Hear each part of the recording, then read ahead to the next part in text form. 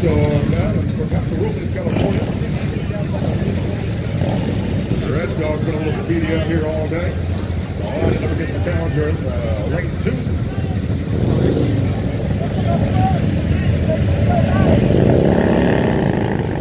There you go.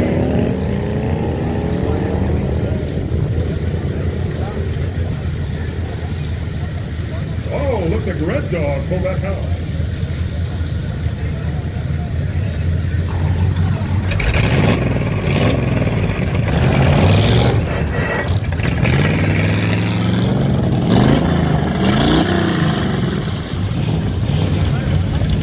Yeah, it's